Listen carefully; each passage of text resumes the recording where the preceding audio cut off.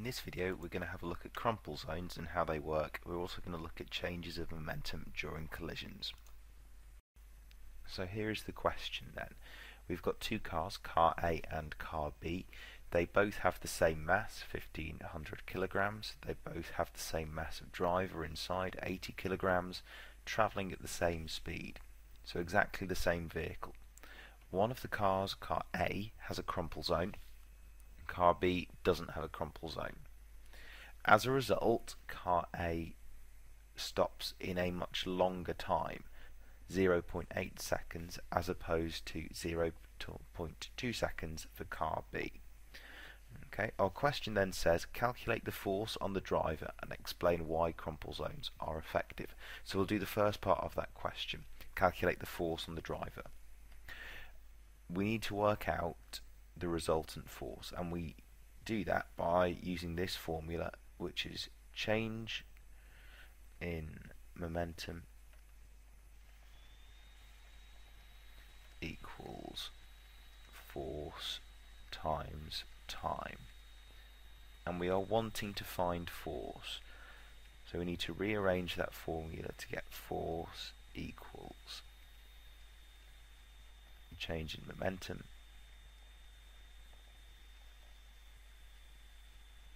divided by time. Okay, we haven't been given the momentum of the car. We need to work out the momentum of the car to then put into our formula for change in momentum. And so we're going to use the formula momentum is mass times by velocity. Okay, the mass of my car is going to be 1500 kilograms but I'm also going to add on the 80 kilograms for the driver. So the driver's inside the car that mass is important. It's going to be 1580 kilograms. The car that weighs 1580 kilograms is going at 20 meters per second. That's where I got these numbers from. Okay. That works out at a momentum of 31,600 kilogram meters per second. Okay, really important number. The momentum of car B is exactly the same. Um, the mass is the same for both the driver and the car, and the velocity is also the same. So I can use this value for car A and for car B. I can then put my momentum into this formula for force. So we'll do car A over here, and then we'll do car B.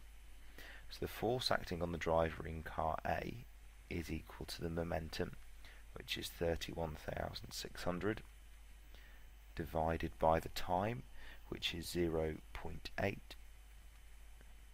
That gives me a total force on the driver of 39,500 newtons. We'll do the same thing for car B, so that's car A done there. Same thing for car B. So the force on car B, or the driver on car B, is equal to 31,600, the same momentum that we had before.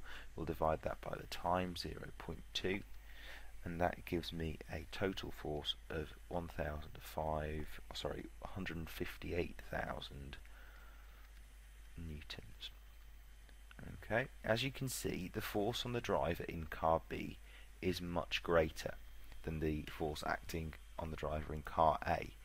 What that means is that the person in car B is likely to be more harmed than the person in car A. Bigger force will do more damage.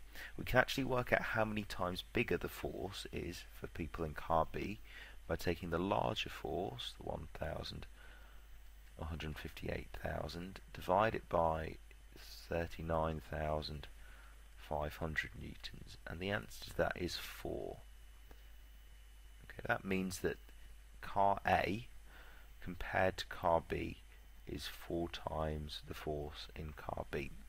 Okay so if I get a crumple zone it reduces the force by 4 times to 39,500 newtons, which is a significant reduction in the amount of force.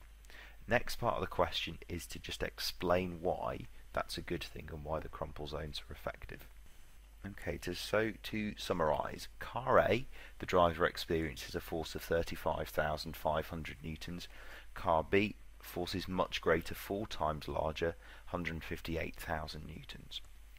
So what happens if I increase the duration of a collision, that reduces the force acting on the driver, which is what I want. I want the force to be as small as possible because that will result in fewer or less serious injuries